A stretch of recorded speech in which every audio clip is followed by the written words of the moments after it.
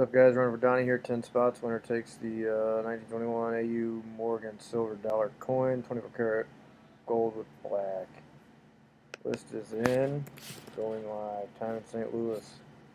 8.55 p.m. List is here. Dice roll. Four more.